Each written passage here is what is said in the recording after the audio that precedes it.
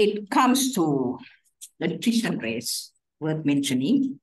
2022 data show that women in healthcare are leaving their jobs at higher rates on average than previous years.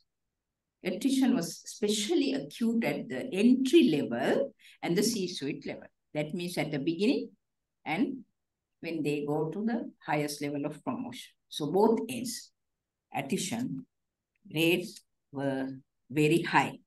It's rising from 6.4 rate to 16.6 now over the years. If you take past three years,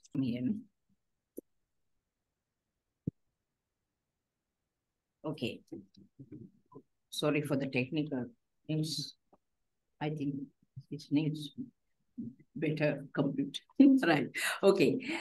Now I'm coming to the report by World Health Organization and Women in Global Health. Together, they co-produced a report delivered by women, led by men.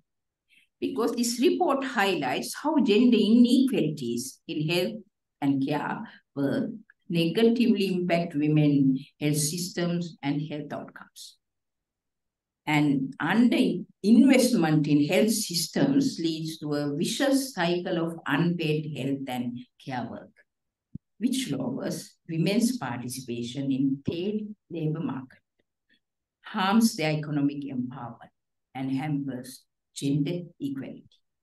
This is an analysis of 104 countries, provides robust estimates of female participation in the health workforce, occupational segregation by gender, and the gender pay gap. It is released in 2022. These are very uncomfortable facts, but worth exploring. As report reveals, the barriers faced by female health workers undermine their well-being and livelihoods hold back broader gender equality and negatively impact health systems. 24 million of the 28.5 million nurses and midwives globally are women. That means only 4.5 million are males. Men, on the other hand, are more likely to be physicians and specialists than women in addition, more men reach leadership positions, as I have mentioned already, leaving women underrepresented in senior higher paid roles. And outside the formal labor market are the women whose work in health and social care is not even recognized, let alone paid. It is estimated that women in health contribute 5% to global gross domestic product. That is, as I mentioned, three US dollars, three trillion annually, out of which almost 50% is unrecognized and unpaid. Coming to our own paradise island. Let me start when you say women in health, not only doctors, not only other professional categories in the family of health, but our ministers was important because political commitment is very important. When it is a really lady, it is advantageous. When you take all 28 ministers, two of them, they held two terms. Only five are ladies. First one, Vimala Vijayawardena, was the third health minister, starting from SWRD Bandaranaike, third minister. And then the 13th one is Honorable Shivagami Obeyesekere, fondly remembered as Siva Obeyesekere. She was the 13th. And then 15, Honorable Sunetra Narasimha, the trend was okay, 13th, 15th, and also 17th was Honorable Renuka Herath. And after that, 26th one was Honorable Pavithra Wanniarachchi. So only 5 out of 28 represent 18% of the ministers. Only. At least 25 is not reached. And one minister held the portfolio of health and women's affairs. Usually when it is women, women's affairs, probability of uh, appointing a woman or lady is greater. So that is why. So definitely that out of five, that means it becomes four, the usual probability. But this was the occasion and the situation. Coming to our own health sector, I take the government sector. Private sector is cross-cutting because uh, uh, most of our categories work in the government sector and private sector as well. Exclusive private sector is uh, relatively small when it comes to uh, especially inward care, uh, outward care, I mean, uh, outpatient department that's 50-50, but still uh, human resource for health comprises mostly government. Total healthcare workers, we are now more than 150,000, you know, little more than. Females are 68%. What did I say when I said the global context 67? So we are almost equal, like, so force. 68% are female. 32% are males. Right. And when it comes to administrative grade, we have taken only here the medical administration. Females are only 26%. So that is also similar to global. And when it comes to specialist consultants, females are 36% only. Though usually when you take a batch at a medical faculty, girls are more. But coming to this stage, naturally, it is being reduced. So, and when it comes to executive so-called C's, it will say, but I have taken this at least DDG and above, only 25% because only we have three out of among our male colleagues. If I take additional secretary, nowhere because I that is why I took the statistics from DDG level at least. So it is only 25%. So when you take all non-medical, it comes to about 30% because SLAS officers, I think they have better proportion of females uh, when you consider compared to medical administrators. And coming to specific uh, HRH human resource for health, exclusive gender categories. You know, uh, at your left is male dominant. That means PHIs and drivers out of all healthcare workers represent 3% because they are exclusively males, drivers and public health inspectors. And coming to our own female PHMs, that is primary healthcare workers, midwives, out of all healthcare workers, they represent 6%, both institutional and public health midwives, because they, because of them, we are at the stage where we are today, primary healthcare, and all elimination targets we have achieved because of our strong primary healthcare infrastructure delivering to the doorstep and of their commitment and their uniform training I must say. So this female category has, with all due respect to all of us, others, but special mention is should be rendered for primary healthcare work. Because we are the proud owner of most of the WHO stipulated targets in the region, achieved first before others. Coming to the conclusions, promoting more women's participation in this re requires targeted. Spelling mistake, sorry. What can we do? Systematic review and meta synthesis of evidence in the sector, but things are available mostly. You need to act really. Advocacy is needed, promoting gender equality and due recognition and creation of comprehensive strategy, not just talking. There should be organized, methodical way of forward. And understanding their strength by themselves, we also should understand our weaknesses and our strengths. Most of the time, women, they don't know about their strength.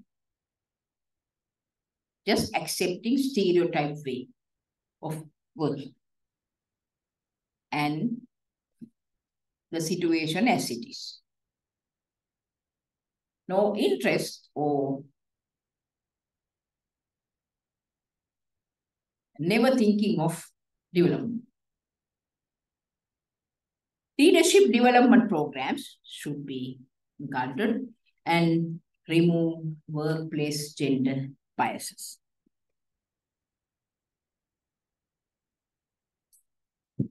Finally, I want to say that giving this opportunity made me really think of what I also can do, certainly, because if you take the Ministry of Health in Sri Lanka, doing well despite of uh, calamities. From time to time, we face the calamities, disasters, man-made, uh, natural, worst ever economic crisis. But still, we are maintaining, especially our public health services. And when the real time comes, these resilient public health services will go forward. We are determined to do that. But we really lack uh, center of gender. I know that uh, it's tiny bit of things are being done at the directorate level, but we appreciate that what is going on, but I think it should come from a higher level. The policy directive should be taken because when you take all the categories, the due recognition, due promotions, due place is not given. So together, I think we can change this situation. Thank you very much.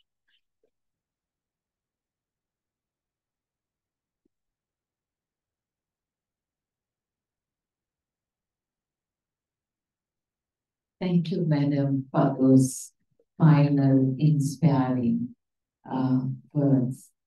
And um, as a person who um, all the time from my own professional life, talking about equity, equality, hearing those words of a positive nature from an administrator is like putting um, honey uh, into my ears as well as my, my own heart.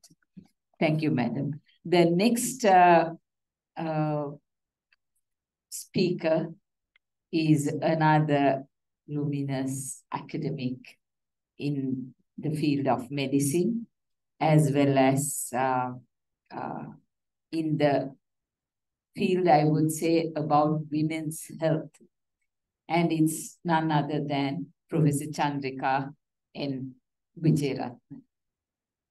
Uh, Madam Chandrika is a senior professor uh, in reproductive uh, medicine faculty of medicine Colombo and she was the former vice chancellor of the University of Colombo and the past president of Sri Lanka Medical Association and I know she was one of the um, chairpersons of the Women's Health Committee to the post I'm holding today.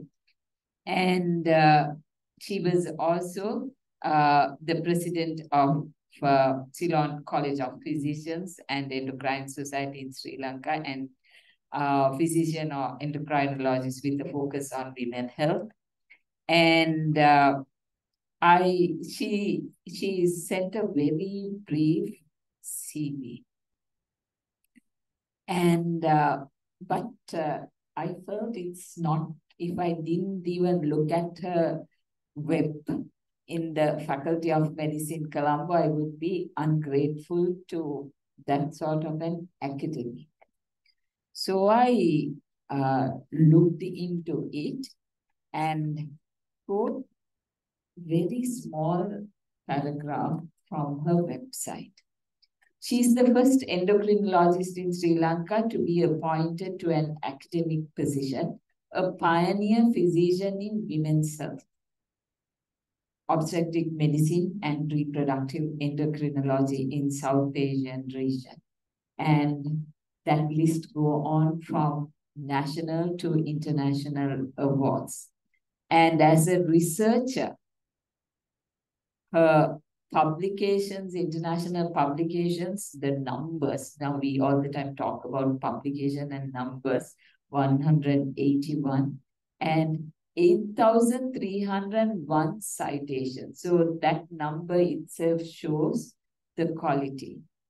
She had said in her short CV, she's committed to encourage Sri Lankan students to be self-directed learners with a holistic outlook.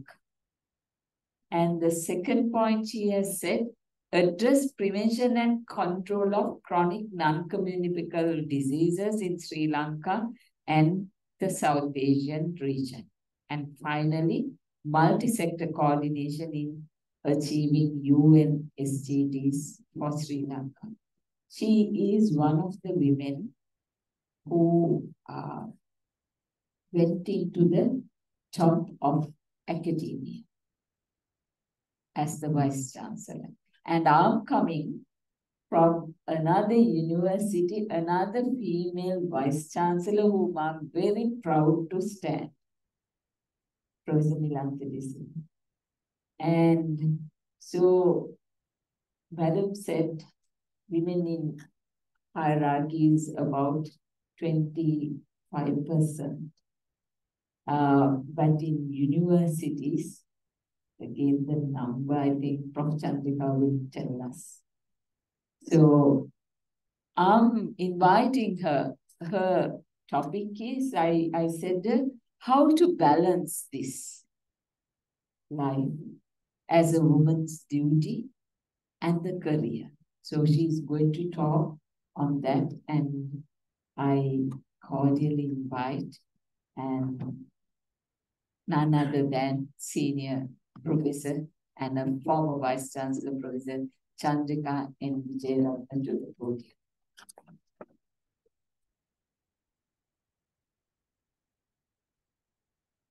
Thank you very much, uh, Pradhan for those very um, humbling words of introduction uh, president of the Sri Lanka Medical Association, past presidents, my teachers, and my students and colleagues, uh, and all those who have joined us online. A very good afternoon to you. If I could be helped with trying to find my slides, I would be very grateful. But in the meantime, I would like to say that when I was invited to this uh, symposium, which I thought was very apt uh, by this very vibrant group of uh, academics and uh, public health experts as well as women's experts. I was so extremely grateful for them to have picked on this topic of uh, addressing the Women's International Women's Day, marked on the 8th of uh, this same month. But as Ms. President said, uh, every day of the year should be in uh, support of women. So I hope I'm seen and heard adequately by those who are online. And my uh, task is really having uh, Dr. Somatunga having set the stage on the women's workforce in the health sector to get on to some reflections on career choices, job satisfaction, and work-life balance. So at this point, uh, while uh, declaring that I have no conflicts of interest, I would like to pay my humble tribute to many of those uh, who have passed on, who have kept the flag flying, particularly Professor Priyani Soysa, uh, Professor Dulita Fernando, and of course those who are with us, such as uh, Prof. Anoja, Professor Jennifer, and also Professor Kumudu Vijayavardhana, who have been great sources of strength over time uh, in discussing these aspects, in as much as there's a long list of ladies as well as gentlemen who have kept uh, my brain sticking over the past several decades.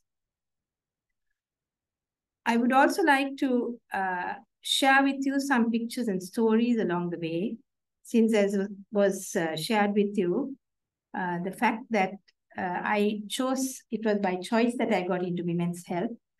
Uh, it was not an accident. Uh, and I would like to say, I'm ashamed probably to say that I didn't want to treat men who in internal medicine were predominantly for alcohol and smoking. So that was why one reason why my quest for turning into women's health, uh, which was much more rewarding, particularly in the obstetric fund.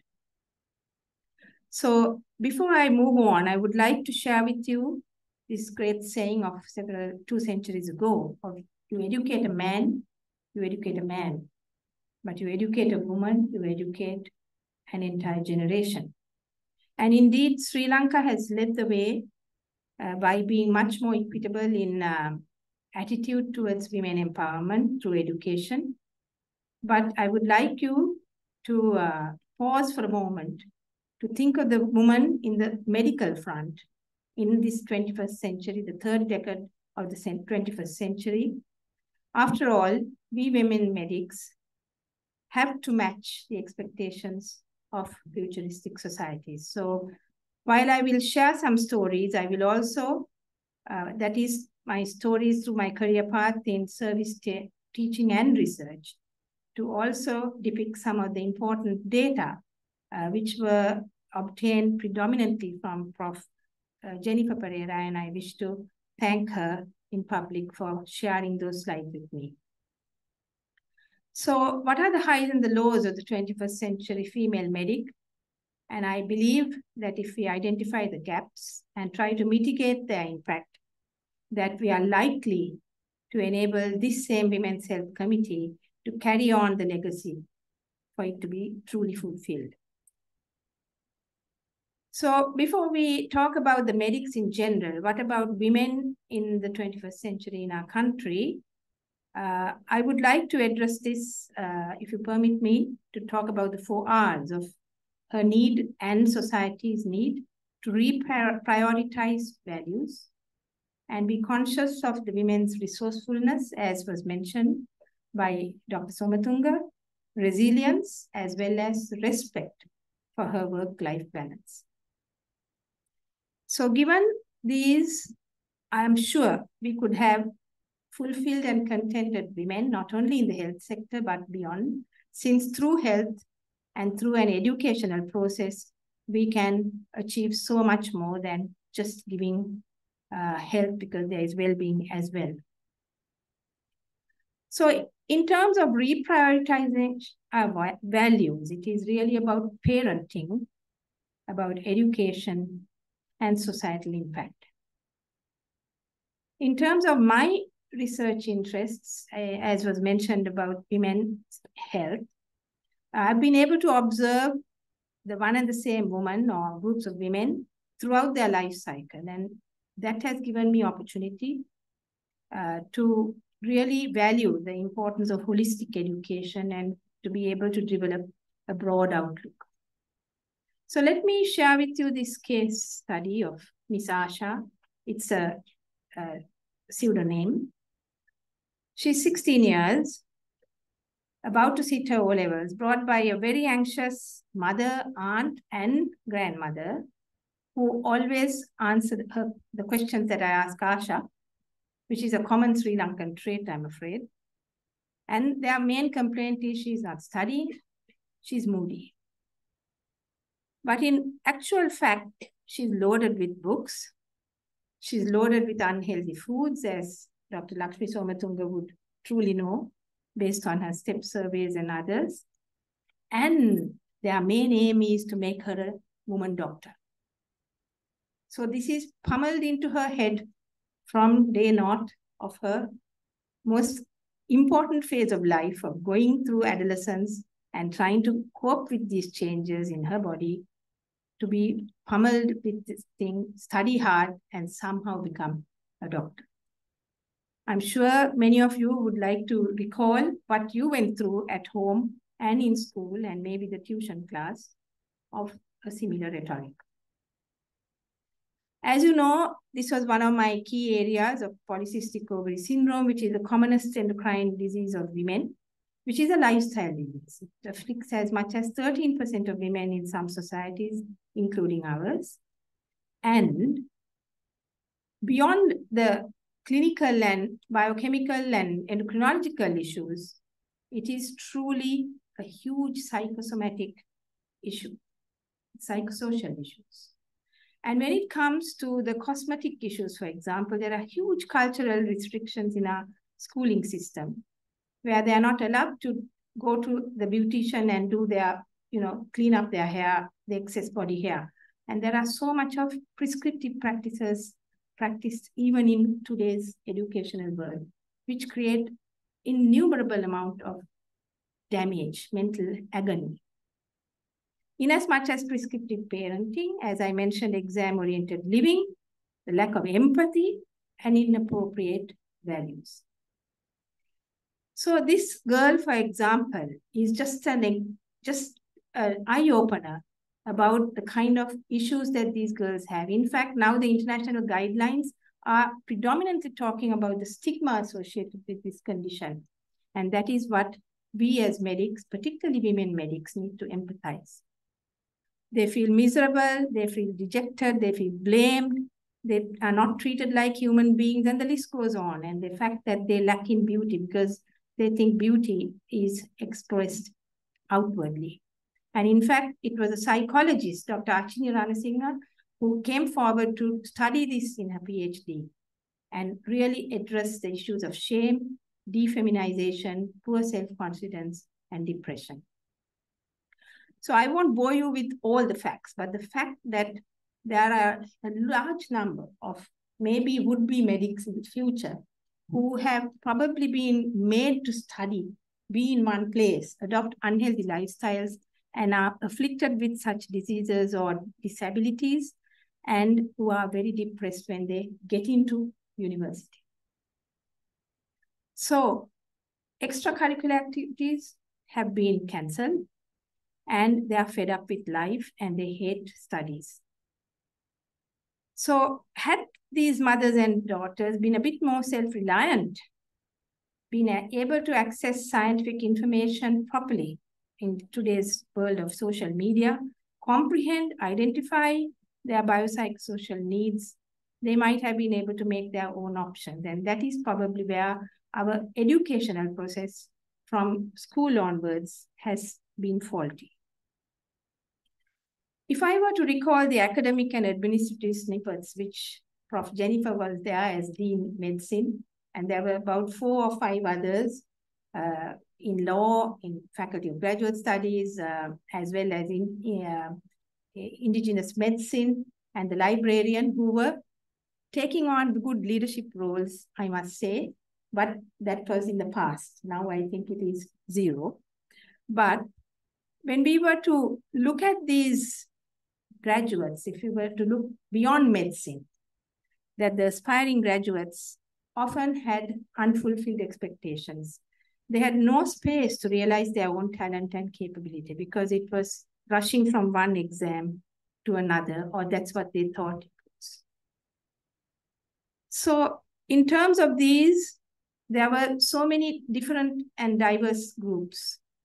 They be it about the, the type of education, be about the learning process, to whether they are actually sure of a job, whether they belong, and also the, the gap between STEM subjects and the humanities, which is so important to have a mixture of both if you are to become a well-rounded professional.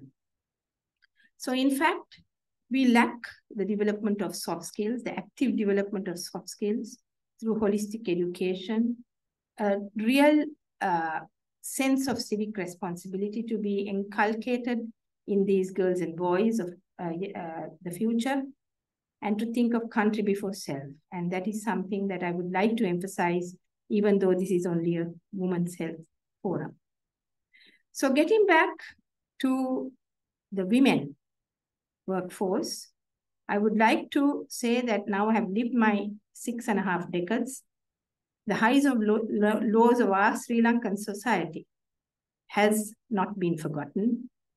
And I still believe that acquiring social consciousness underpinned by holistic education, particularly through women's empowerment, can impact whole of our society. So if you look at the educational process, I, I know this has been mentioned so many times since 1945, the Kannangara policies have ensured that there was equity and that there was equity for girls and boys as much. And the Sri Lankan socio-cultural structure has encouraged girls to be empowered through the educational process. And this is predominantly so because the school girls drop out much less than the boys. In fact, uh, there was another uh, professional who came up with a question, what has happened to the boys? So anyway, that is another uh, title to be discussed. But as was uh, shown by uh, Dr. Lakshmi Somatunga as well, there are almost two girls to a boy at university entry in today's this decade. Not only in medicine, but in the humanities, but not so much in the IT groups and the engineering and the technology groups. So that's where the boys go. I do not know whether this is because there are different forms of uh, entry uh, criteria in terms of the examination uh, procedure and the outcomes as to whether the rote learning process is less in those fields that the girls do go to less because the girls would follow orders like what I depicted to you about Asha. In terms of the gender mix, career choices is what I need to address. Of course, undoubtedly with a civic responsibility and a global outlook. So to quote Prof. Jennifer Perera, thank you, Jenny, for sharing your slides with me. Your, these are the very same slides with a slightly different color combination, which you presented four years ago. In the medical group, from the 1990s, from being 43%, women at entry and graduation have increased to 60% in the current uh, decade. And the issue is that we have that number of girls qualifying as medical graduates, but their furthering of career prospects have not matched beyond graduation.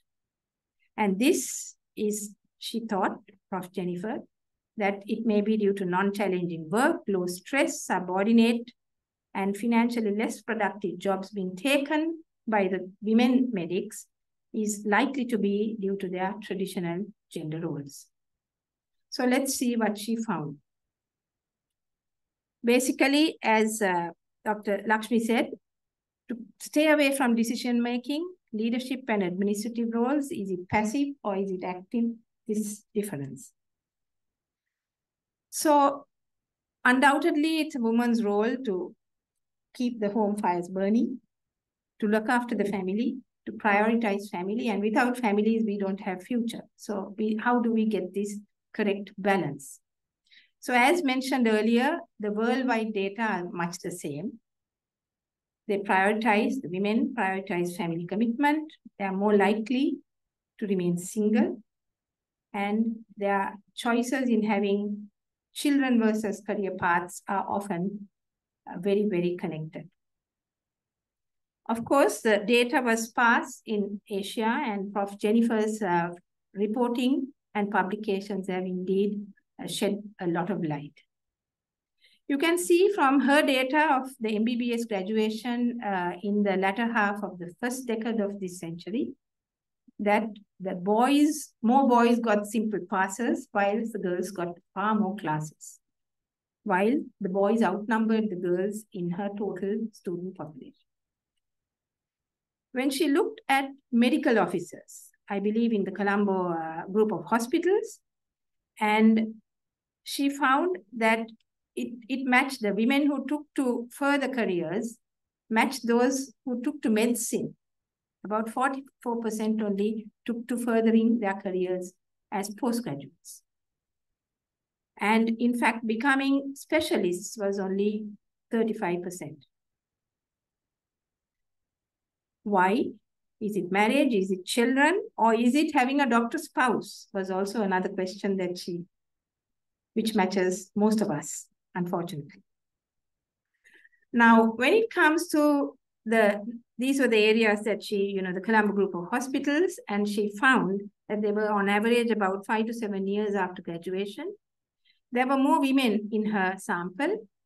Uh, their marital status were more or less similar to the boys A fair number had got married at the time she uh, enrolled them. But their enrollment to the postgraduate study courses was extremely low amongst the women compared to the men. 46% versus 31%, and even planning to get into future postgraduate studies, the girls had not thought about, one-fifth of them had not thought about it at all at this point of time when they ought to get onto that track in the usual format. So 52% of women in her cohort had not gone into postgraduate training. In fact, the significance of marriage was, she showed, not the reason. So in overall, when she asked them specific questions, they said it's easier to care for the family because the majority of them were married, whether they were men or women. But you can see what their actual situation is. So they did not proceed to postgraduate training due to family commitments. Their choice of specialization was also associated with their family commitments, and therefore they did not reach leadership positions. In terms of uh, medical graduates uh, choosing whichever career, it is interesting that the PGIMB in the sole center that provides this postgraduate development, I don't think they're that gender sensitive about this entire issue. Neither is from policy downwards. So you can see, this was the data I got from Prof. Chandani Wanigatunga, the deputy director, just the other day. As of 31st of December 2023, you can see more women have gone into diplomas and MSc programs, but to the MD program, particularly post-MD pre-board certification, the boys outnumber the girls, a reflection of the previous seven years. So we don't know what is in store for the future, whether these are ways of finding gateways to migration is also something we need to keep in mind. It's interesting that the, in fact, the anesthetist we call ladies college some years ago. Now they have from 77% have come down to 47%. Public health, community medicine, 71% has come down to 59% in the uh, then and now. And it, the list goes on while dermatology, neurology, rheumatology, and the laboratory groups have remained uh, much higher women taking than men. One aspect, since I was in women's health, there was a huge dearth of obstetricians and gynecologists in women. And that is not so in a neighboring India, and that is not so in the US. And I still not got to the bottom of the problem. but I think that's worth a while looking into it. Because from a, the perception of the healthcare receivers, the recipients, they would far prefer, prefer to be able to share their problems uh, and expose themselves to a woman of the species. Same with psychiatry. Well, there are more women and venereology more women, but not so in surgery, no, uh, even pediatrics uh, has come down than what we had. And uh, Mrs. Uh, Dr. Somatunga, uh, medical administrator, there was no data in 2004, and now it shows 11% women. So that reflects why they don't get into the C-suite also. So in 2018, only 12% of the women were provincial directors, 28% were regional directors as per Prof. Jenny's data, while getting into administrative grade, 65% were males. So even though it was probably a more day job at the junior level, you cannot say childcare lapses was the only reason why they didn't take to these uh, specialties. So Prof. Jenny concludes, men and women prefer to specialize in areas that are traditional and gender congruent.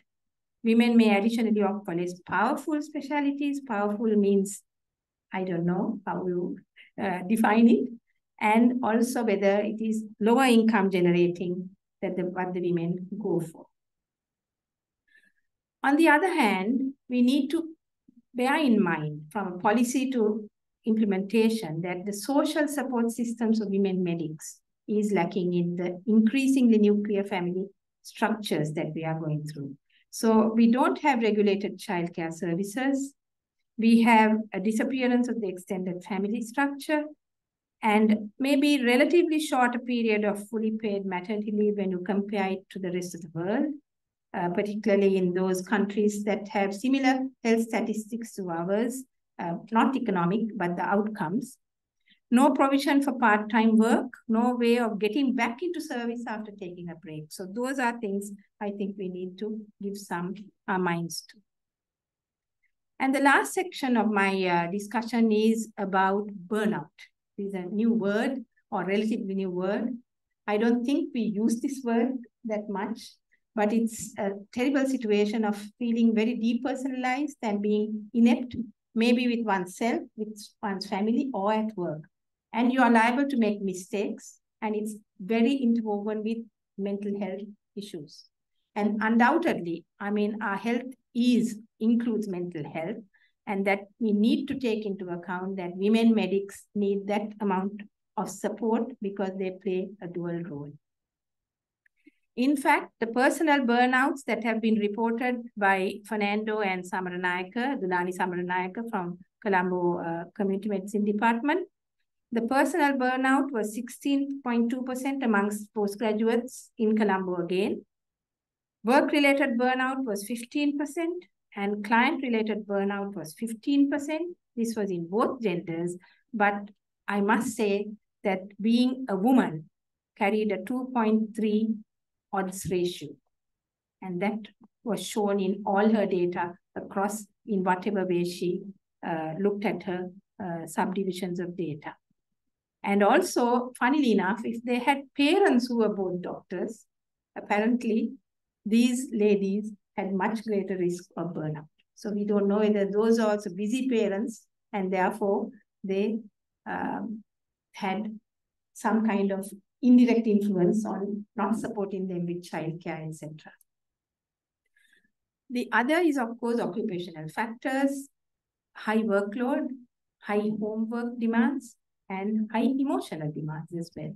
So I don't know whether that's a gender-specific issue where we sometimes take our, to heart some of the uh, clinical issues we come across and are unable to find a solution for which we also need support systems. So my recommendations based on this uh, data is that we need to network and share childcare by maybe pooling, providing them skills of work-life balance, women as role models on balancing life and work, and not being gender congruent and making men our co-partners. I'm sure there are lots of men And we can recall on numerous occasions in our own uh, lives how the our male partner has been of undue support and been able to look at things in an objective manner and give us that additional support. Over to you, Prof. Jenny and Prof. Joe, who are in the audience. Lessons for more developed settings from them is that had we been able to take on a part-time work, long, some reasonably long service breaks if there are issues, regulate childcare services, even within hospitals, and also get role models to talk and de-stress them and ensure that the men are their partners. Before I wind up, if I am given two minutes, I would like to say that our girls, our women medics, particularly as medical students, are very resourceful. I've had that first-hand experience where the Mental Health uh, Institute uh, in Mulleriyawa was overridden with uh, chronic inmates. And in fact, we took this on as a Mulleriyawa project through because the medical students suggested it to me as a the Zonta leader, and we took them, uh, took their cue and helped them to take multidisciplinary interventions as student-led projects to help those women who had to be taught life uh, skills all over again to get back into society after prolonged institutionalization. The girls came up after tsunami. I clearly remember, uh, led by Dr. Achini um, Arsalingam, uh, where medical and housing supports were given to both the North and the South in the immediate aftermath, all led by medical students and law students, etc. Undoubtedly, Prof, uh, Dr. Somatunga showed about the MCH program. I have never stopped admiring the role of the primary health uh, care workers, particularly the midwife, who visits the home and talks to the women in their own language and supports them. What about resilience? I have, during my obstetric medicine years, come across so many women who knew they might die, like this lady, of heart, severe complicated heart disease, but they wanted to leave a child behind. Who are we to say that they should not? And I, I believe that women more than men carers feel about it much more because we go through the process with no disrespect to the men.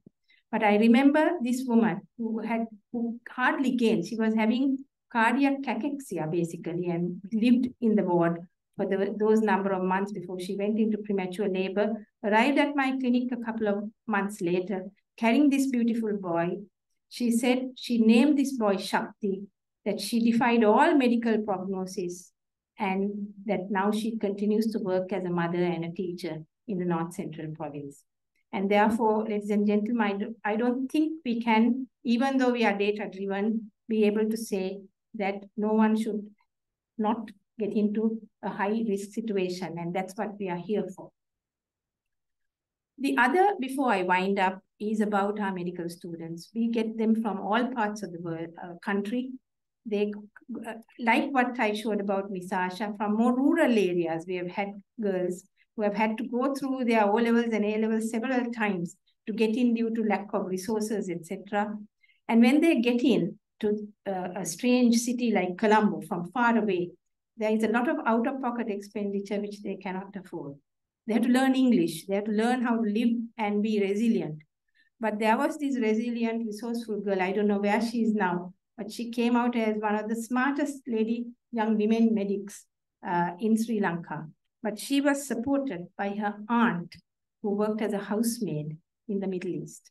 I took this picture when I was uh, out there in transit in one of these Middle Eastern countries, and I see these women whom we are all relying on for the forex, the much awaited uh, foreign exchange, where as Maya Angelou says, life is not measured by the number of breaths we take, but by, by the moments of what takes our breath away.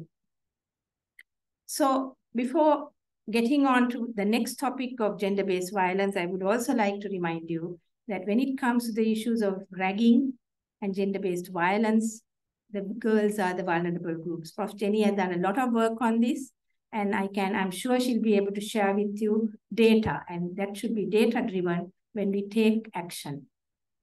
And of course, Sri Lanka's first national survey on violence against women showed that one in five ever partnered women, 15 years plus, experience physical or sexual violence by an intimate partner in their lifetime.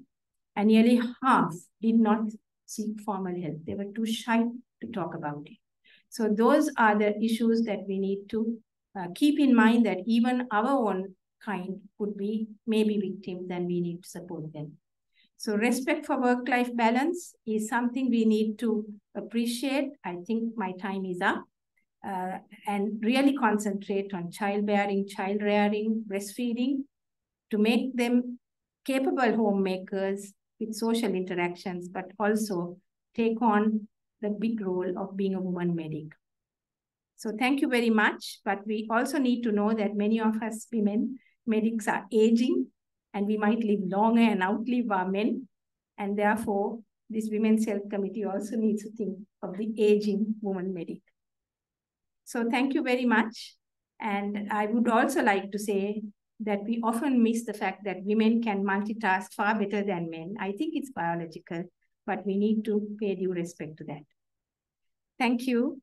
And I hope I said some worthwhile uh, information about our current issues of the Sri Lankan medic, woman medic. Thank you.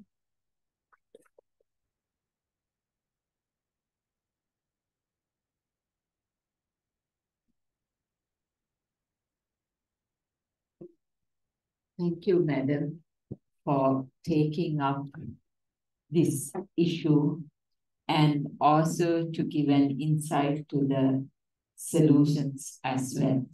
The next person in this symposium um, I'm inviting is uh, Dr. Dinusha Chamari Pereira.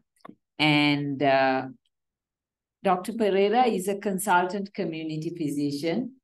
Uh, she was awarded Bachelor of Medicine and uh, MBBS uh, from University of Peradeniya in 2007 and Master of Science in 2011 in Community Medicine um, and Doctor of Medicine in 2015 in Community Medicine from Postgraduate Institute of Medicine, University of Colombo.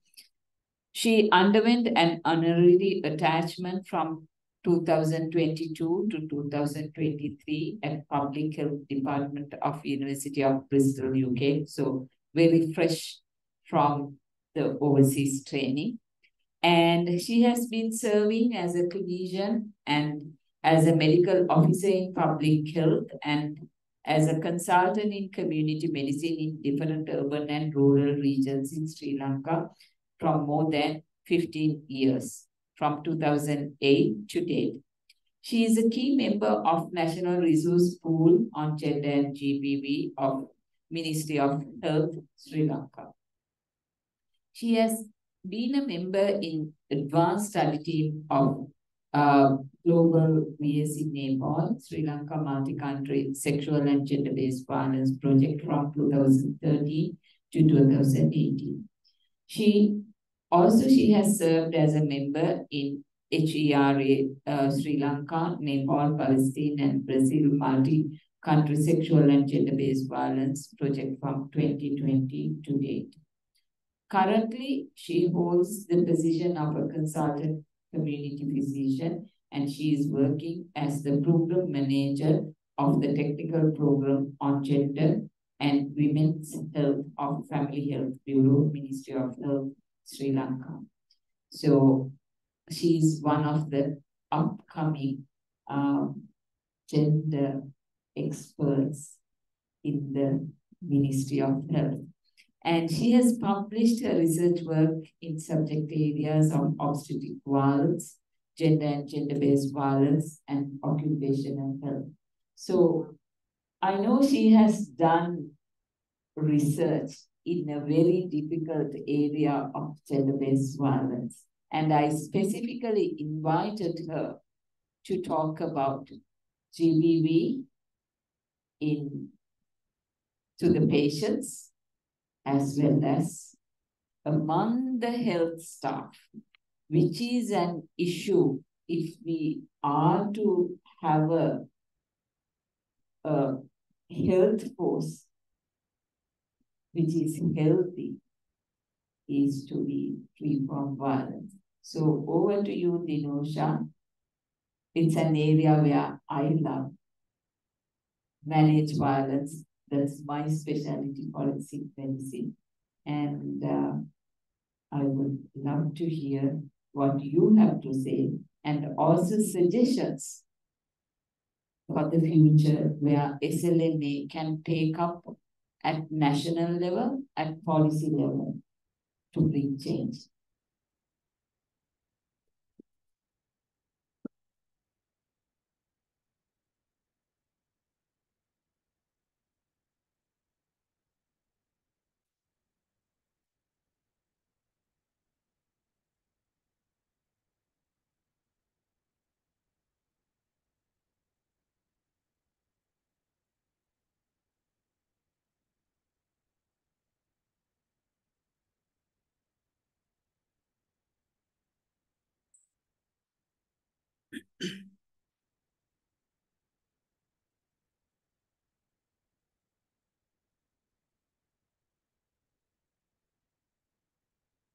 Good afternoon, uh, my dear teachers. Yeah, thank you. Uh, good afternoon, my dear teachers and my role models in my heart and my dear colleagues. Uh, actually, uh, first I would like to thank uh, Sri Lanka Medical Association for giving me, me this opportunity, especially from the Women's Committee and special thanks to Professor Anuruddhi for selecting me to discuss on this topic on, uh, on the day you commemorate uh, Women's National International Women's Day 2024.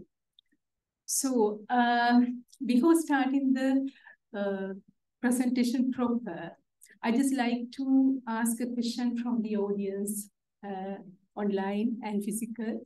Like, um, can you justify violence in any like under any circumstance from your heart? I'm just asking a question. You, no matter, you don't want to answer, uh, but you can think from yourself. Are there any circumstance where you can justify violence? Like when it is sugar-coated with love, if it is sugar-coated with discipline, if it is sugar-coated with punishment, if it is sugar-coated with uh, safety, can we justify? It's a very short answer. No, we can't justify violence under any circumstance because we are humans. That's why I am here to talk on this topic. So I'll be discussing few points on harassment of women in the health sector, not only about our workforce, but also our clients, the patient side also. Okay. But this, uh, actually, this would uh, become like a, a, collection of some research evidence, but I'll be talking a little bit further to this research evidence. Okay.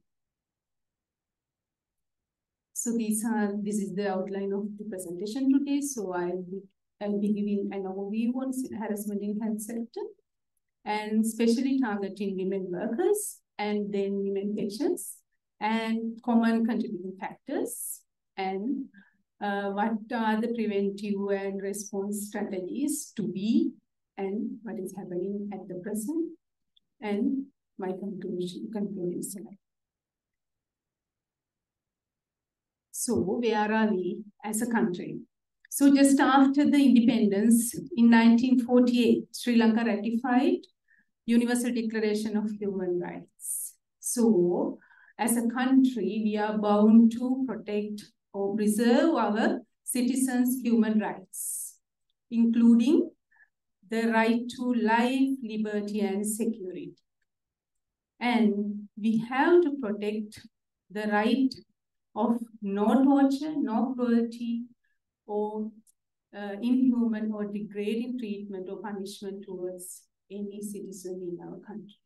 So we are bound to protect our people, preserving all the human rights related to no violence, no torture, no harassment.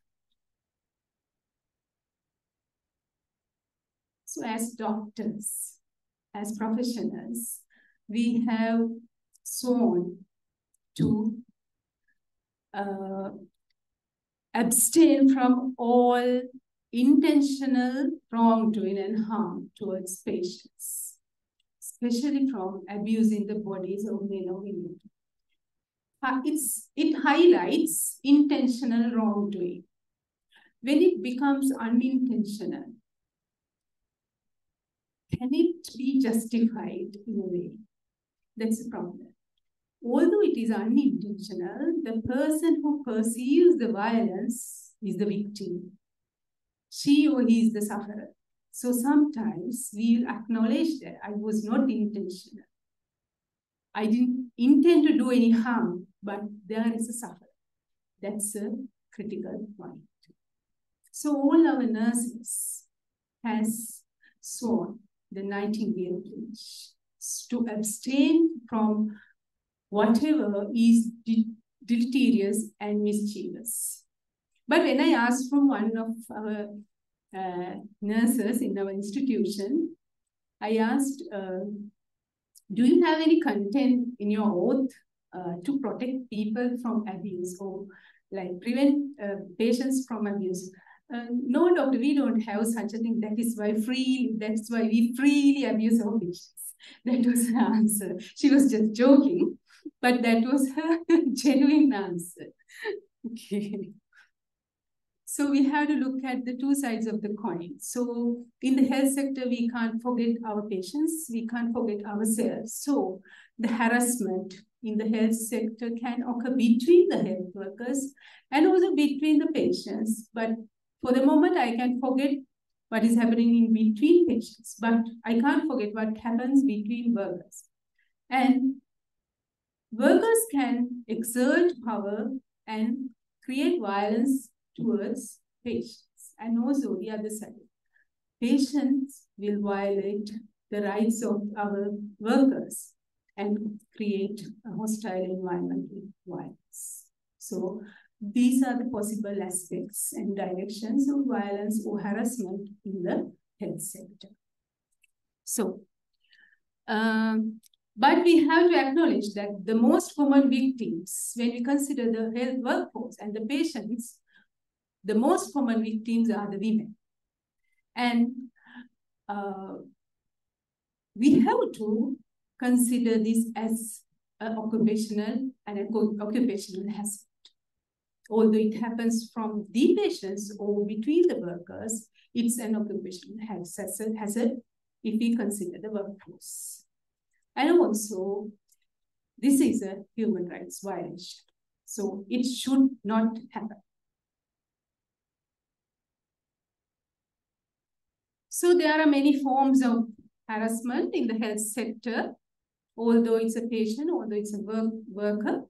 So most commonly emotional or verbal harassment and physical harassment, sexual harassment, one of the most serious kind of violation, and cyberbullying at the present situation, and discrimination based not only on gender, but on race, religion, uh, caste, anything, discrimination also happening in the health sector. And as I mentioned earlier, this can happen over these relations. So what happens if harassment occur in the health sector? So harassment among health workers, that means between health workers is a serious issue that can have detrimental effects on both individuals, the perpetrator and victim both, and well-being of them, and professional satisfaction and it will negatively affect patient care. So if harassment of health workers occur from patients pose significant challenge for their safety and well-being and professional satisfaction. Definitely, there is a significant challenge for safety of the health workers. And harassment of patients in the health sector is also a concerning issue. And that can have serious implications for patient well-being and trust in healthcare systems, especially a healthcare system where we deliver free of charge. The issue is a huge concern. Ultimately, negatively affect the efficacy and the quality of the entire health system of the country. Although we have flagged with so many good indicators in the region, and we are like uh, comparable with in uh, some European countries, but there's a question here. Although after listening to very positive to impressive speeches, here I have to talk about a negative thing, but we have to understand the reality. So although we have flagged this issue of harassment in the workforce or the healthcare system is still there. So let's see some evidence about harassment of uh, women health workers in Sri Lanka. As I mentioned you, actually we have very minimum research evidence in Sri Lanka to show. And uh, we have to acknowledge that the most common victims are women health workers because although any worker can face harassment at workplace. Uh, the most common victim is female workers, female workers. And the most common, as uh, Somutuga madam mentioned, the most uh, frequent workforce, most common workforce in the health system in Sri Lanka is the nursing category. So most of the nurses are female nurses. So we have few research evidence about how nurses are getting harassed in their work life. So I have highlighted few researchers. Uh, actually, for the first, very first one I found was from 2018. Uh, there are uh, among 124 mental health professionals, uh, research had been conducted. And out of them, 58% had reported experiencing or facing threats of physical violence in healthcare. And most of the victims were nurses and auxiliary staff. Those are so-called uh, attendants and minor staff. This is by Lienegate in 2008. So it is 58% physical harassment. But there, it was not, um, there, she had not mentioned uh, from by who they were facing harassment, whether it is from the workers or from the patients. And uh, and Adam et al and uh, Professor Kumudu Wijewardena was in this team. Uh, she has, uh, they have done a qualitative, very rich qualitative study in 2019 uh, about workplace harassment uh, among nursing staff. So they have mentioned that workplace harassment as an epidemic in female among female nursing officers in Sri Lanka. And they had conducted uh, focus group discussions among 29 female nurses in a big hospital in Sri Lanka. And they, they revealed that patient perpetrated incidents of sexual harassment as the most threatening and the clearest to identify uh, on sorry. I'm sorry. Other than like compared to uh, incidents related to doctors and co-workers. That means it was clear to clear for the workers, that means for the nurses to identify the incident of uh, sexual harassment, but they identified sexual harassment by patients as the most threatening uh, condition and situation in the uh, working environment in this focus group discussions. So it's a concerning and uh, an issue like we have to think twice and we have to take measures.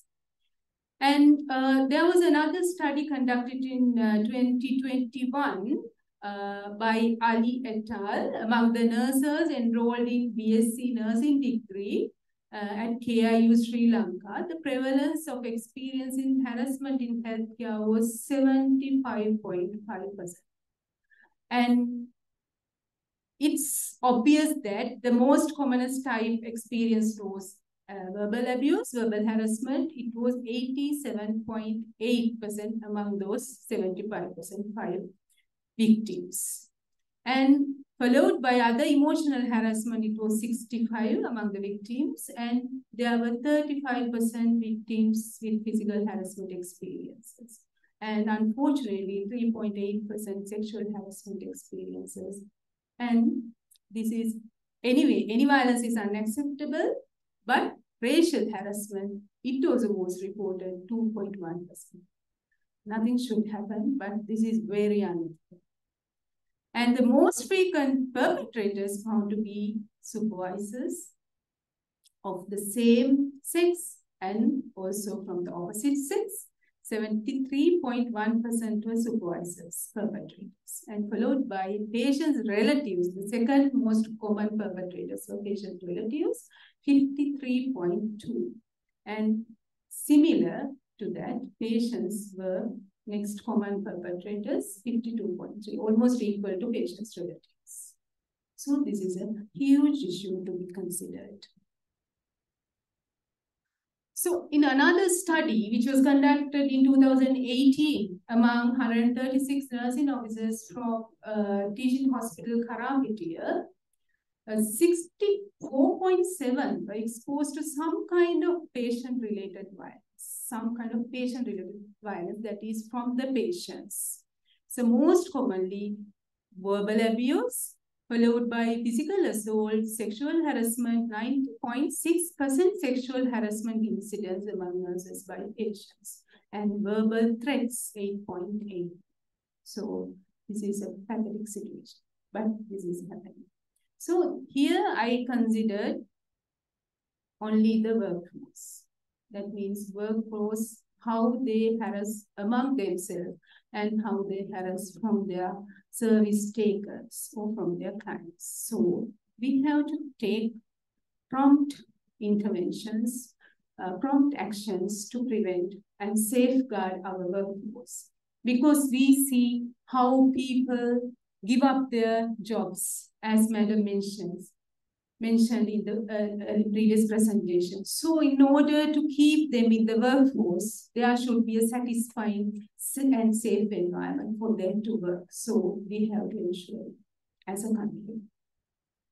So the next side of the coin, harassment of patients in the health sector in Sri Lanka. This is also a topic. It's a uh, uh, like it's a hot topic but no one like to discuss this because uh, no one expect this to be, and no one like to hear this topic. But this is also a happening thing.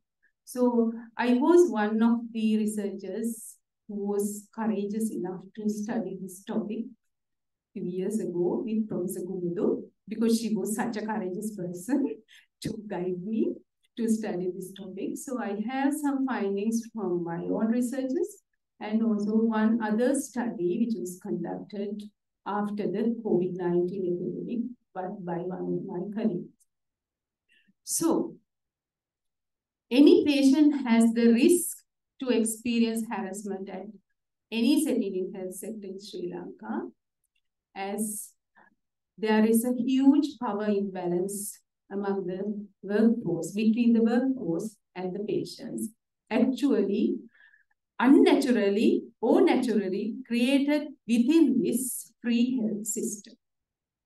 It is a misinterpretation or misunderstanding of our workforce. Like they don't give like due respect to our patients with a feeling like with the with the feeling of they have come to like beg something, they have come to get something from us free of charge. But no one acknowledged that we are the people who live because of these patients. But we were taught during our student period, the most important person in your career is the patient. But how much we respect that teaching, that is a question. So, similar to the workforce, female patients are the most vulnerable group other than, rather than the male patient group because they have the added, added disadvantage of gender, gender disparity. And here also we don't have much evidence, scientific evidence. I have not taken any uh, anecdotal evidence because there are so many paper articles and hearsays, but I have not considered it here. And these are some of them. So uh, this is one of my researches. So among 1,314 uh, pregnant women who had undergone at least one complete pregnancy, one pregnancy or a childbirth, out of them, 18.1% presented with an incident of harassment uh, in health system, in the healthcare system by healthcare providers. 18.1% was that it equal to 238 patients. But obviously, yes, the majority, that is almost all, that is 98% of them had experienced emotional violence, that is emotional harassment, including verbal abuse, and only 4.6 physical harassment. And there were two victims who had exposed to sexual harassment by some workers, by two workers. And this is something interesting, but uh, need to intervene promptly. The most frequent setting of experience harassment, experience in harassment was labor rooms. It was nearly 50% of the victims had experienced their uh, violence experiences in labor rooms. And it was followed by antenatal wards, and it was in government sector hospitals. The labor rooms and antenatal wards were in government sector hospitals. And the other one, the most common perpetrator was female nursing hospitals and it was followed by field and hospital midwives. So we always crown our midwives and nurses for being that much of competent workforces in our healthcare system. Without them, we can't reach this level as a country. We highly acknowledge that. We highly appreciate that. But we know that they are stuffed with work they are stuffed with workload. They have they have driven like they have to chase targets. That is how we have come to this level. But this should not be the way. Like they should not convert their stress or tension into the terms of violence or harassment towards patients. That is the wrong way of converting our stress into someone's suffering. So this is the situation. In the same study, uh, I conducted few focus group discussions and in-depth interviews with victims uh, of uh, uh victims who had experienced violence in uh, health sector. Actually, that was obstetric violence. They revealed that harassment towards patients in maternity care setting uh, settings intersect with systems of power and oppression linked to structural gender, social, linguistic, and cultural inequalities in Sri Lanka. Not only just gender, it intersects with so many other factors. We can't forget or we can't neglect other intersecting factors. Obviously language, because we are not conversant in all three languages in Sri Lanka especially our workforce, public health midwife, nursing officers, they are not conversant in all three languages. But our patients are conversant only in their mother tongue so that we are not empowered that much to come into their situation, to be empathetic towards their problems and to communicate properly. So this is a huge problem I have identified through my, through my research. And the other finding was the victims rarely reported harassment and most common practice was to select another government hospital because most of most of them were not uh, wealthy enough to select a private sector hospital. They were ready to, happy to select a private sector hospital, but they were not capable of doing that. So they were doing what they were practicing was selecting another hospital nearby the largest next hospital to deliver the next baby. So that was their usual practice. So other than the obstetric violence, one of my colleagues in 2021, she had studied COVID-19 affected patients, how the patients reported discrimination by uh, healthcare workers. Actually, it was a qualitative study. Some in-depth interviews had been conducted. Uh, they have, like the clients have, the respondents revealed that they were treated bad at hospital and doctors and staffs uh, for uh, and they refuse to see the patients and uh, are seen and uh, treating us from the distance. So this, the, all these measures were taken, taken to protect ourselves, our workforce. But this is the thing we have to understand. The perception of being a victim is very personal. It's personal. No one can measure from outside. That's me, how I feel. So if I am treated in, a, in such a way, I will not rationalize it with the current situation. That is the patient, because I am the patient. They will feel like I'm a victim. That is the reality. So we have to understand. So although we have like sworn not to do intentional harm, we are doing a lot of unintentional harm to our patients because we don't consider their perceptions and their we are not looking at their thought process. So that is something to be considered. But also should, we should not forget we have done intentional harm also because that is why there was physical violence and sexual violence. So these were the more common contributing factors from all the researchers I found, uh, the recent researchers. So the power dynamics and toxic gender. This was very common, common for both, both aspect, towards the patient's aspect and also towards the workers aspect. The power dynamics, toxic gender norms, and lack of awareness and stressful work environment and uh, unavailability or inadequacy of mechanisms. Actually, it is not unavailability most of the time. It was the inadequacy of mechanisms. There were mechanisms set, but they were not in action. And it was not in action on real time. That was the problem. So these were the most common contributing factors. So I went through the uh,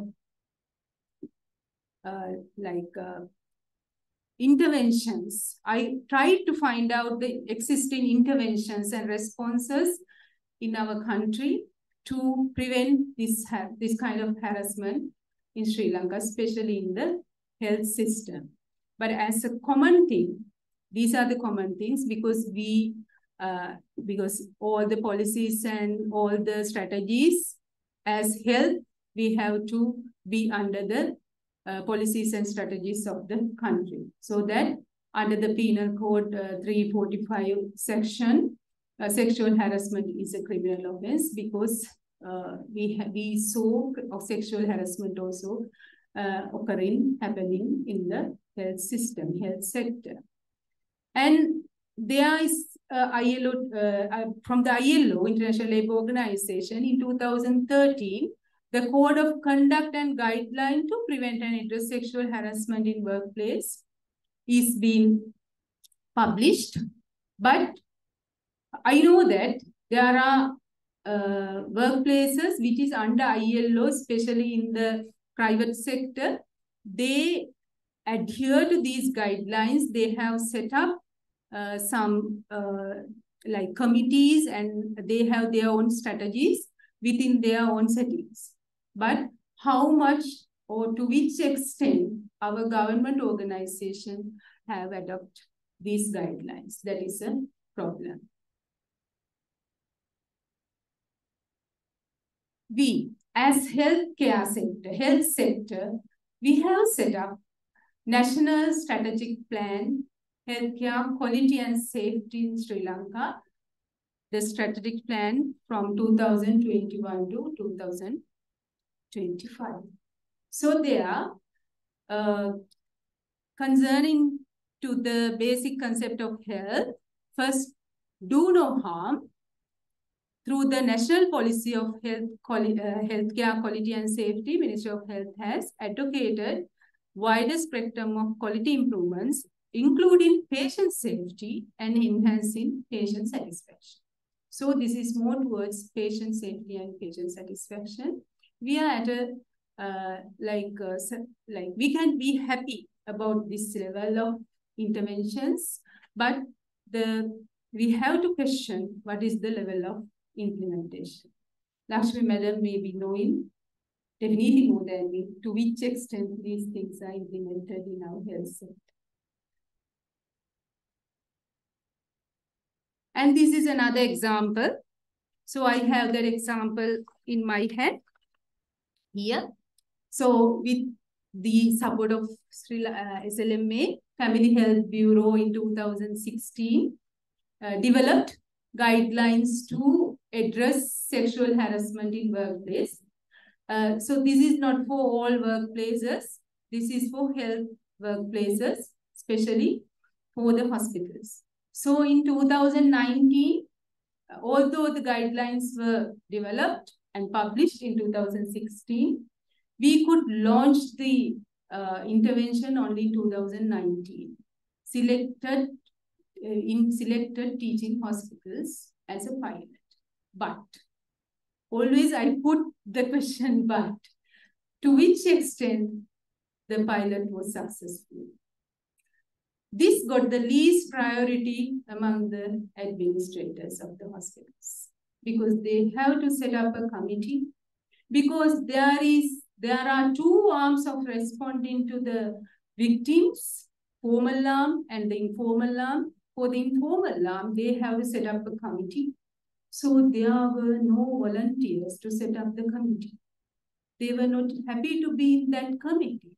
They are not ready to listen to these pathetic stories. They are not ready to empower these victims. That is the story behind. So that this was an utter failure. So now we are rethinking now how to reintroduce this from or rebrand this in a way that this, because this is needed. So many things are happening. So this is a necessary and timely intervention to Sri Lanka. So we plan to rebrand and relaunch this uh, intervention with the support of our madam especially. And uh, NIMH, National Institute of Mental Health, actually there are few organizations, there are few institutions in Sri Lanka where they have their own desire and commitment to do such things. So NIMH is one of those institutions in Sri Lanka. So they have set up a committee and they have set up standard operating procedures to address to uh, sexual harassment in the workplace. So it was, it happened in 2018, uh, but I, I'm not sure, like it should be functioning, but recently I uh, like uh, from none of them. I, I contacted none of them uh, to uh, see what is the situation now. So anyway, it is happy. I am happy that there are so many strategies or actions ongoing. And uh, from the, that is for the workforce and also it is I we I have highlighted throughout the thing.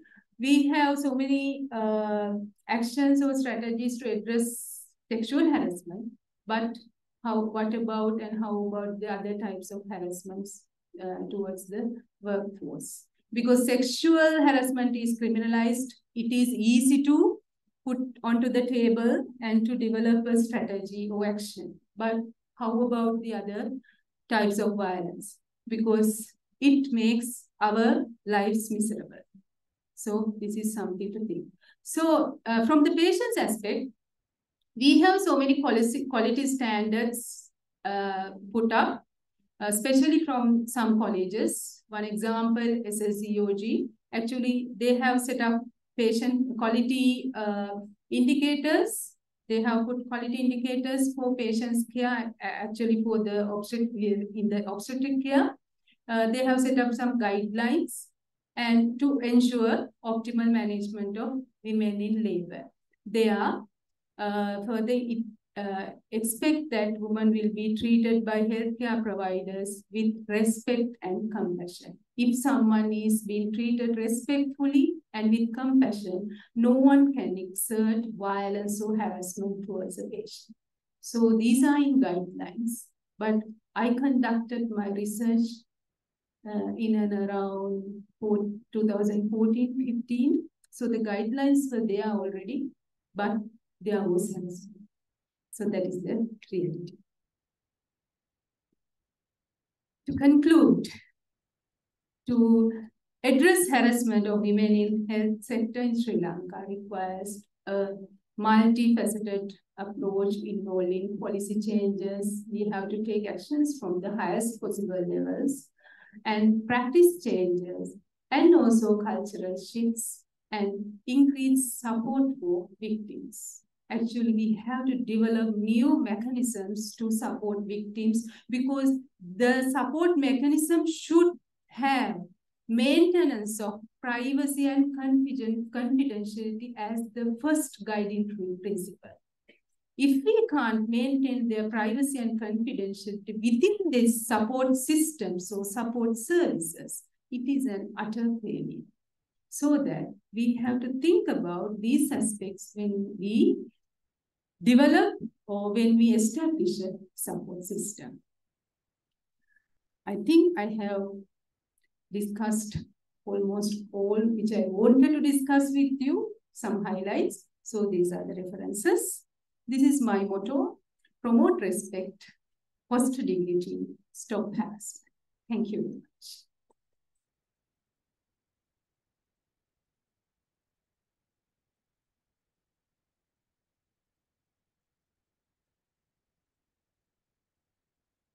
Thank you, Dinusha, for that.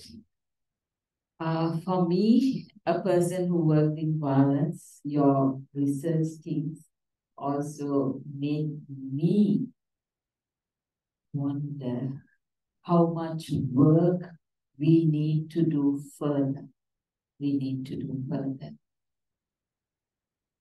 It's, as you say, it's part of, health sector is part of the society. It's the deterioration of the society, but doctors as being doctors, we where we have pledged to dedicate our lives to the service of the humanity. If a violence happens from us to our worker or to the patient, I think we are not doing our job. So, thank you for those thought provoking um, argument. And uh, now the uh, we have we have almost reached the full time, but uh, for the audience here, as well as uh, people who are on Zoom, uh, I open the um, open for questions.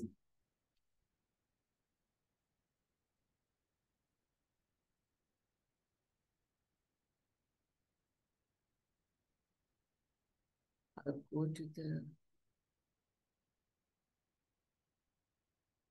chat and see whether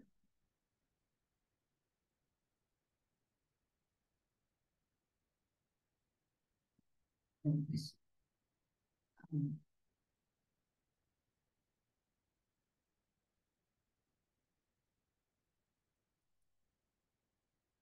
yeah, from the chat, uh, we don't have any questions. Uh, from the uh, people who are here in person, um, anybody want to clarify? It's your time for the uh, speakers. You can put any questions to the speaker where you want to clarify.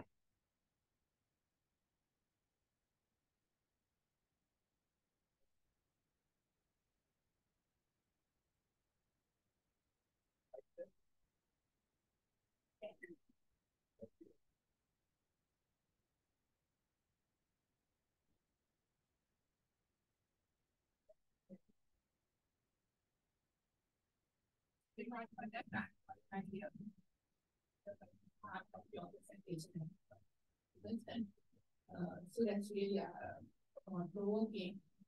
I just mention that at the PGIM, we started uh, uh, sort of a introductory course on medical ethics and professionalism for all PGIM trainees uh, from 2014 and I'm that and I'm still involved teaching the ethics part of it. So uh, I hope that means the younger people, right, from 2014.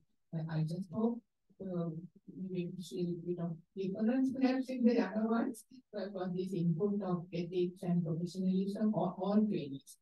And also, uh, you know, uh, I would like to mention that the SLMA Ethics Committee has been trying to introduce ethics, hospital ethics committee into the government hospital. They've been trying for a long time. Uh, and at last, we have been, uh, um, we able to say that we have succeeded to a certain extent, and we are uh, introducing a pilot project of having hospital from the ethics committee and of clinical debates, right?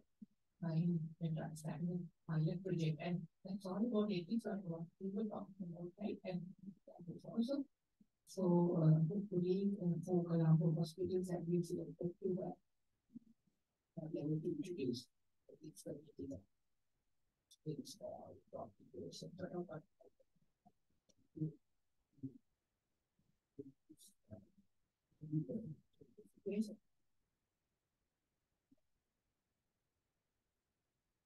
Um, think as a as an administrator in the highest position um, as a female, what can you do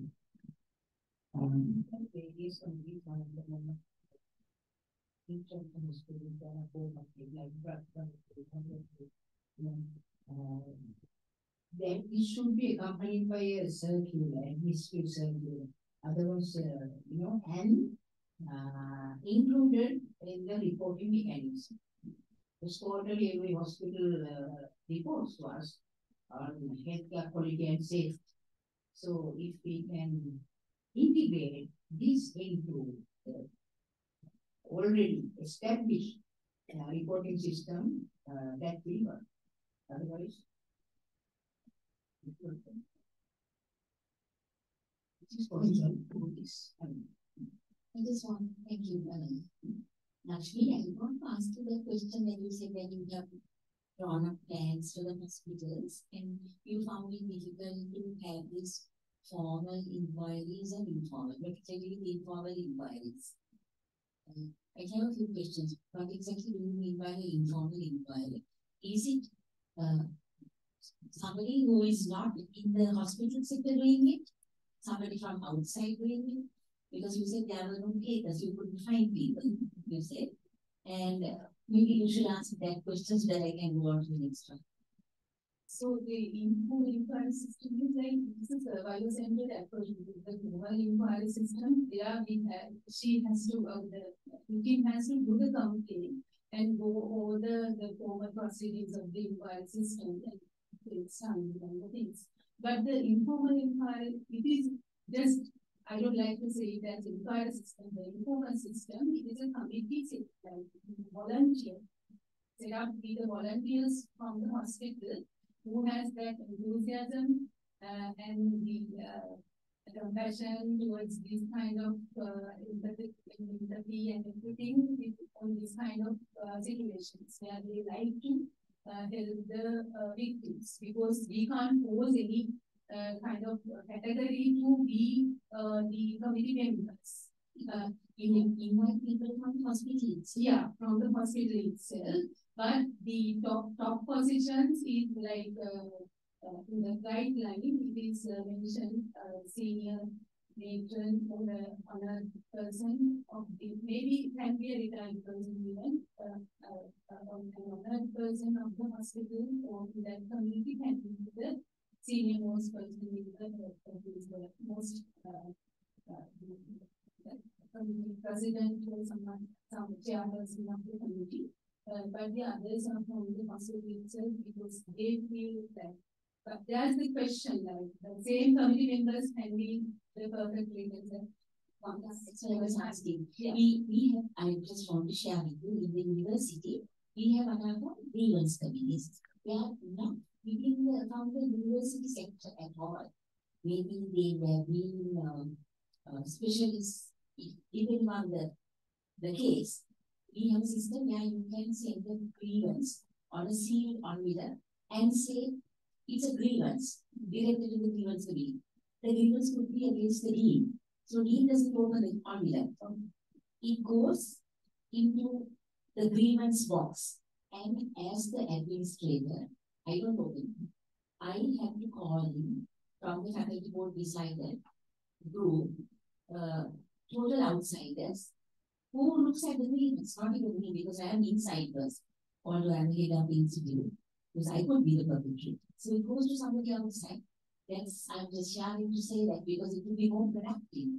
And those people will be unbiased because they don't know the person. In, you know, maybe they may know that it's a nurse or something or a doctor, but they wouldn't know them very closely, not close, and they won't be biased in terms of repercussions. See, now if a is a big guy in the hospital, hospital people will not volunteer. See, And minimum so result this is is sharing the way out. Don't just say things on the You can have freedom thinking, that's when something is yes. in the, the measure of quality. Now, the important thing is that you are trained with freedom thinking. And I think that that's when we got from the, you know, something online, you know, train the freedom thinking members. Right, then how to kind of the situation. you We are very few words also. in addition that train train very good. So that means I think that when it's for one it's very to, and it has to be continuing. And it's like, answer, not here or nothing, should be part of the monthly, uh. And the second point I want to say is once the uh, culprit is found, if you don't punish, the punish, then there is no, I mean, ragging stopped in medical faculties because we suspect the students. Can you remember? Even in science faculties, they had to the faculty or sometimes two years. And they were suspended for two years of their life and they had their degree, everyone delayed in two years. So that's, that sends a message to the perpetrators. Actually, madam, through this informal mechanism, actually the empowerment part is also happening in providing emotional support to the victim. So that they come to a level that, yes, I want the perpetrator to be punished because they have no voice at the time they come to the informal committee. But the voice is up when they are going out of the, like, through, through, through the process. So that these are like, uh, a kind of a probation period for the victim so that they can go into that formal inquiry system after this uh, process. But uh, as I mentioned, this was not a success story in our, uh, as, as I mentioned. The problem I see, foresee is like uh, not the hospitals are not single structures as the agencies because we have a huge number of hospitals, huge number of staff, huge number of workforce, huge number of categories. So that uh, like uh, having an external body as the committee, so how much practical, how much practical it is, is a question because every and each hospital and small uh, healthcare settings also have to have this kind of response. So that uh, there's a practical problem. But at, at least at the provincial or district level, we can pilot such a, we can try out such a response.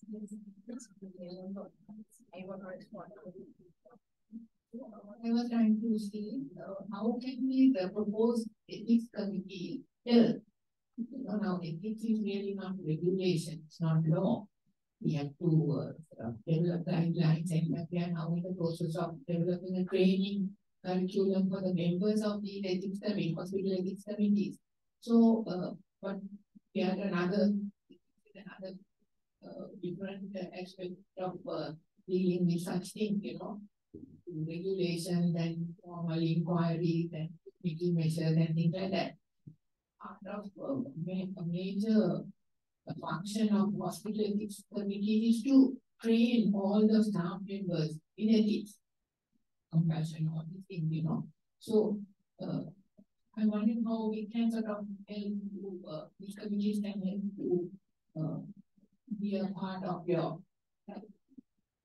I want to uh, respond to earlier one. Every hospital it doesn't matter whose numbers, but because this is from health sector, and we must listen to the customers.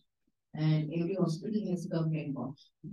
And uh, in the quarterly review, uh, they should report that uh, periodically. Uh, they have to open it and register it into the register and the follow-up action.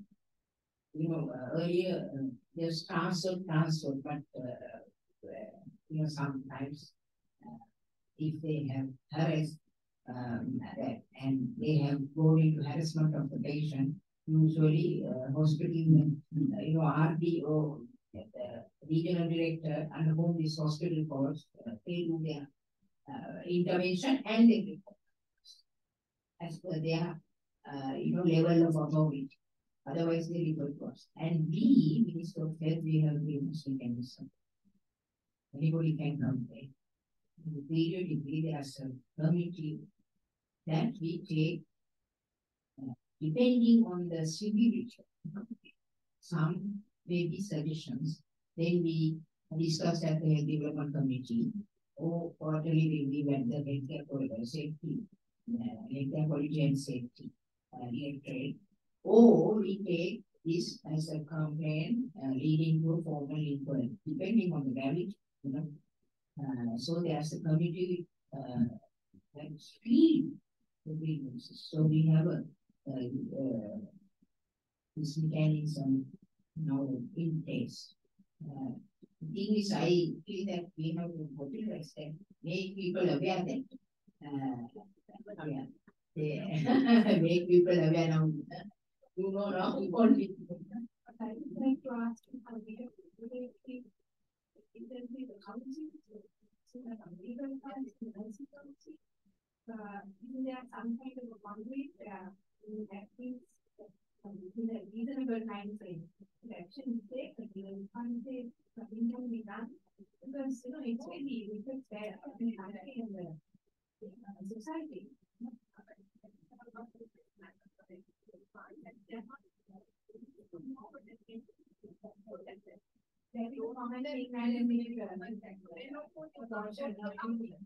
Yeah, no, no, so there has been some other method.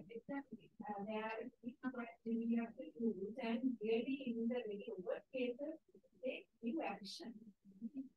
Otherwise, then, as about when he said one person is dealt with, message goes. maybe not. Of course, when we suspend your student, there are lot of and come, but the evidence fine.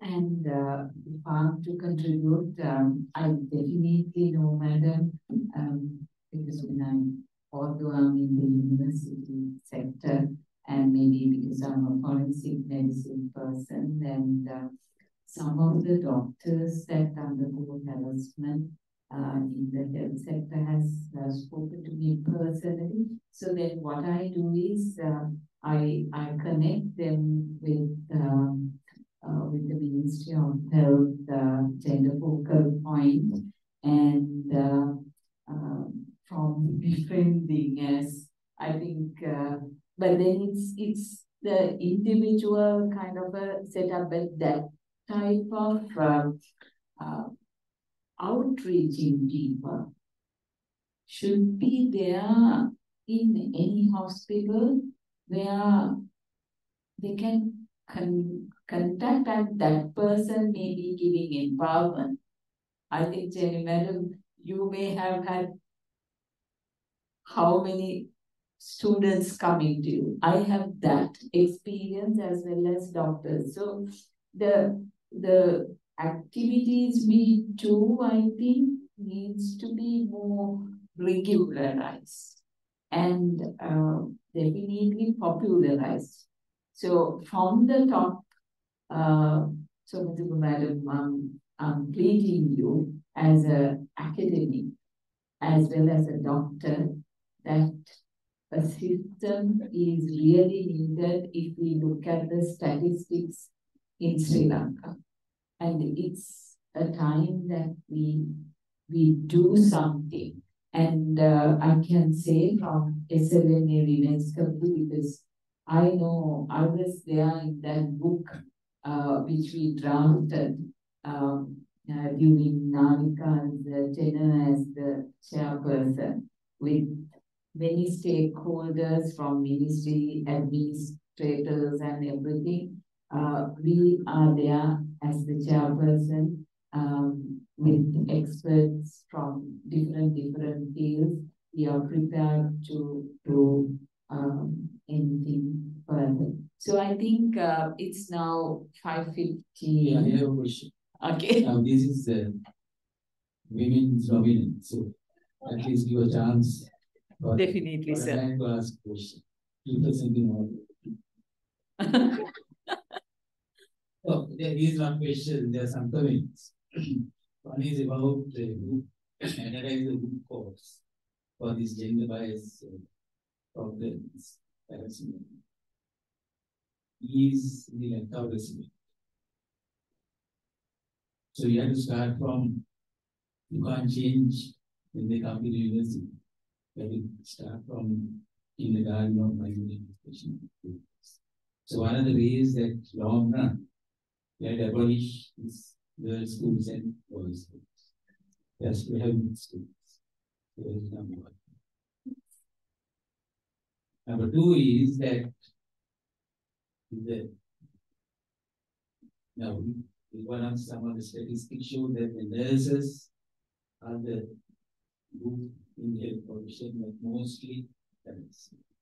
Because that I don't think that there is any faculty, any university in this country where the, the doctors and the nurses and the other health professionals Uh, and now it is happening uh, to a certain extent, but are learning together.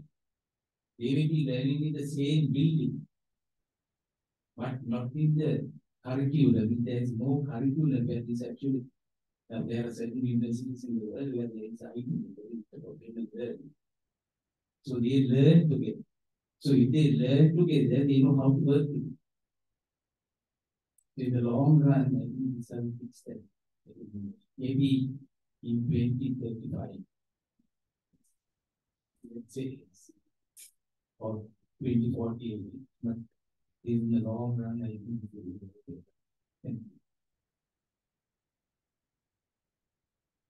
Any other questions before we wind up? Yes, now it's uh, five 2020.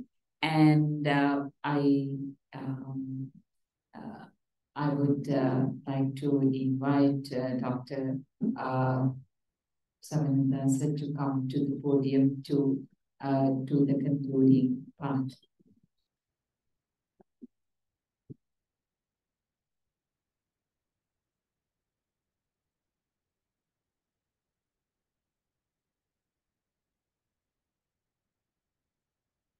I would like to thank all the distinguished panelists on behalf of the Women's Health Committee of SLMA for sharing their knowledge and expertise with us. And also a big thank you to our audience who, uh, who are present with us both physically and via Zoom um, for uh, taking part actively in this symposium and helping uh, your, your presence, which made it a successful symposium. Uh, thank you all and hope you have a pleasant evening and uh, we would like you to join us for tea. Thank you.